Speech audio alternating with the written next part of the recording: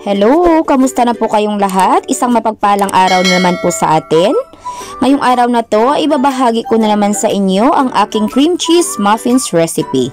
So tara guys, panoorin kung paano. At para naman po sa kumpletong mga sangkap, 2 cups all-purpose flour, 1 cup grated cheese, 2 pieces of large eggs, half cup softened butter, 1 3 cup white sugar, 1 can condensed milk, 6 ounce cream cheese, 2 teaspoon vanilla essence, and 2 teaspoon of baking powder. So, ang una nating gagawin guys, sa isang malaking mixing bowl, Paghaluin lang natin ang ating all-purpose flour at ang ating baking powder. So isi-sift lang natin ito guys para masigurado natin na walang buo-buo ang ating flour.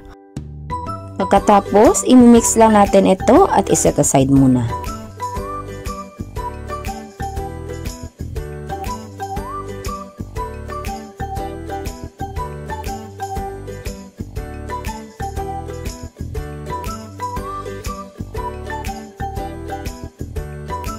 So, ang next natin na gagawin, gamit na naman ng isang malaking mixing bowl. Ilalagay lang muna natin ang ating softened butter at ang ating cream cheese. So, make sure lang natin guys na malambot na ang ating butter at ang ating cream cheese bago natin ibit. So, kung wala po kayong hand mixer, pwede po kayong gumamit ng wire whisk sa paghalo.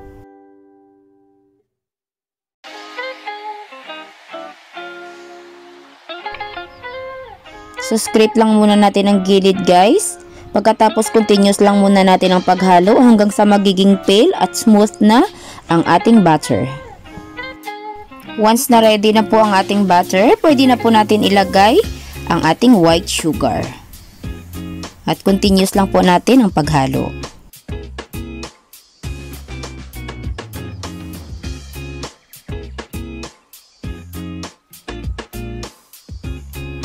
Then, ilagay ko na rin ng paisa-isa ang ating itlog habang continue ko na hinahalo ito.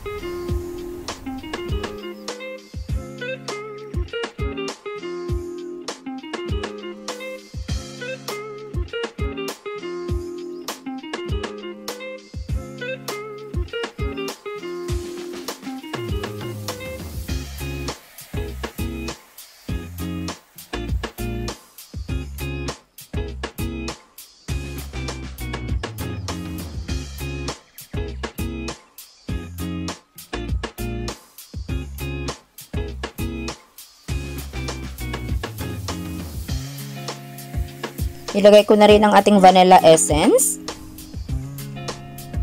at ang ating condensed milk. So, any brand po ng condensed milk, guys, ay pwede nyo pong gamitin.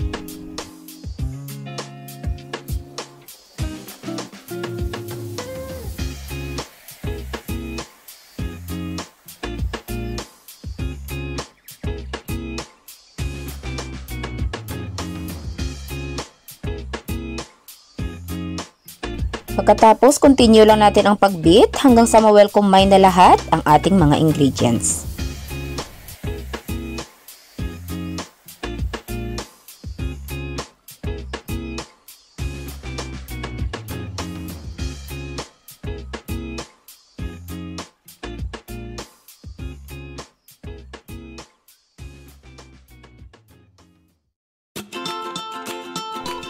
So once na nahalo na natin ng maigi, ilalagay na natin ng paunti-unti ang ating dry ingredients. Continuous lang natin ang paghalo hanggang sa mailagay na lahat ang ating all-purpose flour.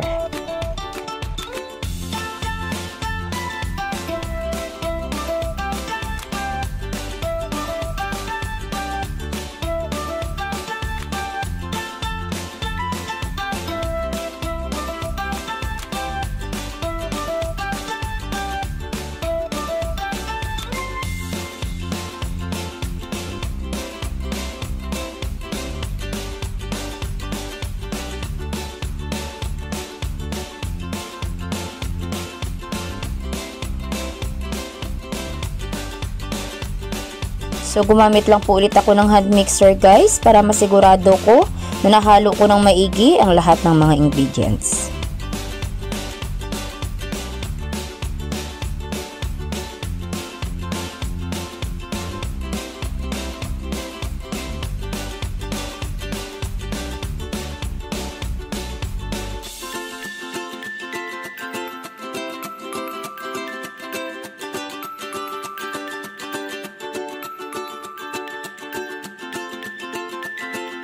So kapag well combined na at wala nang buo-buo na makikita sa ating mixture, pwede na natin ilagay ang kalahati ng ating grated cheese. So ang the rest na kalahati guys, itatabi natin yon para pang toppings mamaya sa ating muffins.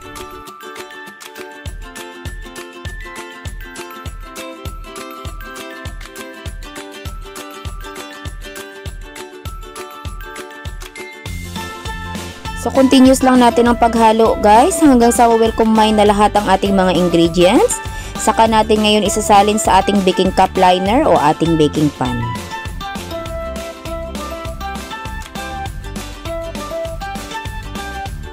So, itatap ko lang ito guys para ma-release ang air bubbles.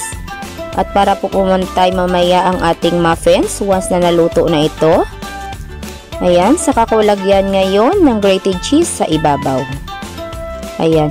So, depende na po sa inyo guys kung gaano kadami ang grated cheese na gusto nyong ilagay. So, continuous lang natin ito hanggang sa malagyan na natin lahat ng grated cheese ang ating muffins.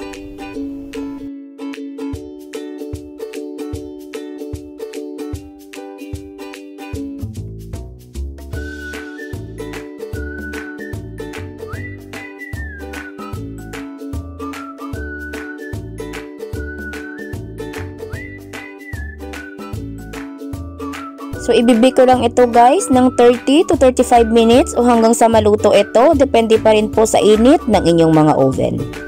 A few moments later. So, ito na po guys ang ating cream cheese muffins after ng 35 minutes ko na pag-bake. Napakasarap nitong merienda guys, lalo na sa panahon ngayon na maulan with matching coffee or tea. So ano pang hinihintay nyo? Subukan na rin ito sa inyong mga tahanan at sigurado na magugustuhan nyo ang reseping ito. Maraming salamat guys sa patuloy na panunood sa aking video at pagsuporta sa aking channel. Kung ikaw hindi pa nakasubscribe, please don't forget to like, comment, subscribe, and hit the notification button para updated kayo sa mga susunod kong video. Maraming maraming salamat po. Keep safe tayong lahat at God bless!